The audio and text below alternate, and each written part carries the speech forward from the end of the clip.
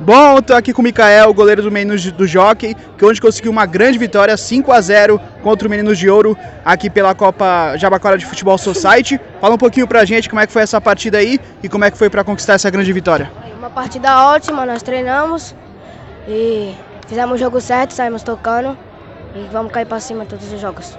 O que você acha que a equipe fez de tão boa hoje, hoje, hoje para conseguir esse grande resultado aí? Trabalhou em equipe, todo mundo junto, reuni reunimos, vamos cair para cima. Que quem tá aqui é nós. Vai querer dedicar essa vitória aí no jogo de hoje para quem?